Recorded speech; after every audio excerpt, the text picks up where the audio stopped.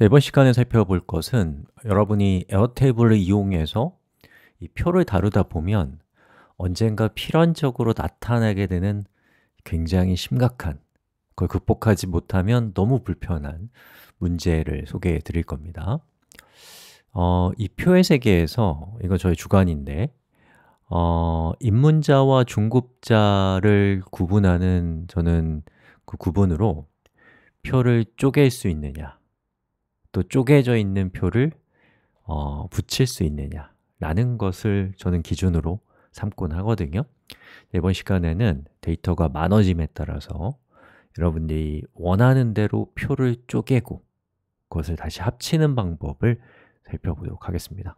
자, 관계형 데이터베이스라고 하는 것을 다뤄보셨다면 이 조인이라고 하는 것이 바로 이 에어테이블에서 똑같이 조인이라고 하는 것을 여러분이 사용할 수 있는데 아주 편리하게 사용할 수 있습니다. 자, 그럼 한번 살펴보시죠. 자, 우리가 업무일지를 만들고 있는데요. 이 업무일지의 컬럼에 누가 업무일지를 작성했는가 라고 하는 정보를 담기 위해서 제가 컬럼에 멤버 정보를 추가해 보도록 하겠습니다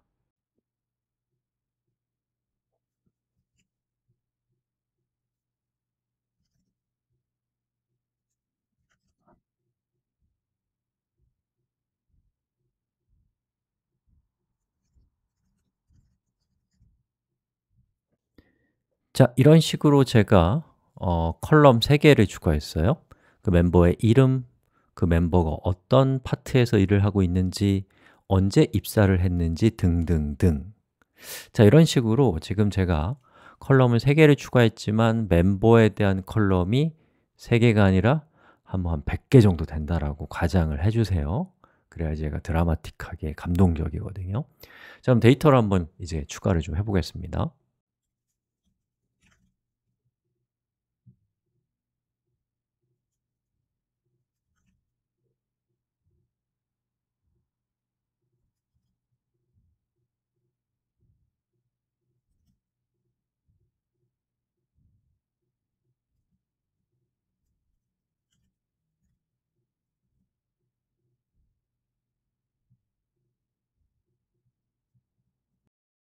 자, 제가 이렇게 기존에 있었던 표에다가 멤버에 대한 컬럼 3개를 추가했고요. 그리고 데이터를 추가했는데요. 여기 보시면 뭐 이고잉이라는 사람이 어, 이 첫 번째 작업도 했고 세 번째 작업도 했죠. 리체라는 사람은 두 번째 작업과 네 번째 작업을 했습니다. 자, 이런 상황인데요. 여러분이 이 표에 있는 데이터를 지금 몇 개예요? 다섯 개인데 얘가 1억 개가 있다고 생각해 보세요 됐어요?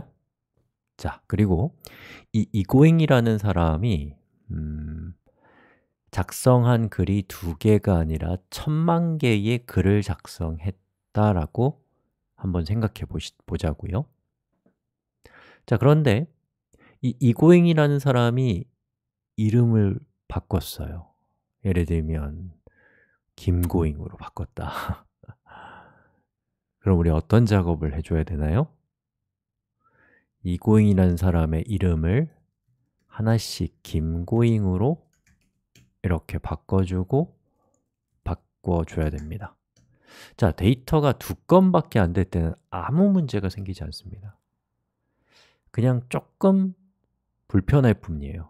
예, 작업을 두 번 해야 되니까 근데 데이터가 많아짐에 따라서 작을 때는 문제가 되지 않았던 그 문제가 점점 점점 커져서 더 이상 어, 데이터가 많아지는 것이 불가능해지는 순간이 옵니다. 양이 커지면 어, 중요하지 않았던 문제가 중요해지거든요. 즉, 우리는 입력되어 있는 데이터를 수정하는 것에 대한 엄청난 어려움을 겪고 있는 겁니다 그리고 또 여기 있는 김고잉이라고 하는 저 데이터가 어, 천만 건이라고 한다면 사실은 똑같은 데이터들이거든요 근데 이 똑같은 데이터 천만 건이 중복해서 존재하는 거예요 그리고 여기 이 사람이 김고잉이라고 되어 있는데 음, 우리가 이름만 가지고 저 사람이 저 사람과 이 사람이 같은 사람이라는 걸 확신할 수 있나요? 아니죠. 세상에는 동명이인이 있단 말이죠. 그래서 우리가 섣불리 이름이 같다라는 것을 근거로 해서 데이터를 한꺼번에 리플레이스를 해버리면, 바꿔버리면 나중에 심각한 사고를 겪게 됩니다. 즉, 문제가 발생한다는 것이죠. 그래서 우리가 표를 가지고 여러 가지 작업을 하는 과정에서 뭔가 문제가 생긴다라는 아주 강력한 증거 그게 뭐냐면 중복이에요 이렇게와 이렇게가 중복되고 있죠. 그러면 걔는 문제가 있는 것이고 그 문제를 해결하는 방법은 이 표에서 중복되는 컬럼을 독립시키는 겁니다. 그리고 이 컬럼들을 별도의 표로 쪼개는 걸 통해서 얼마나 폭발적인 효과를 얻게 되는지는 다음 시간에 살펴보겠습니다